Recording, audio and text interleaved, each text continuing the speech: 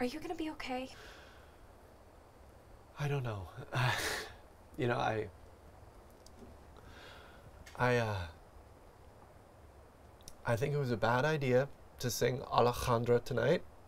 And I think the feelings are too too raw and still on the surface.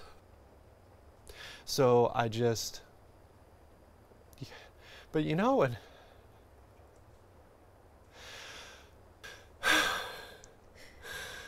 I j- when you when you let somebody into your heart and they don't they don't I know exactly what you were talking about, and it is. It is so unfair. yeah it's i just i don't want to be sad anymore i okay. Hey, hey, look at me. Look at me. It's okay. I'm here for you, okay?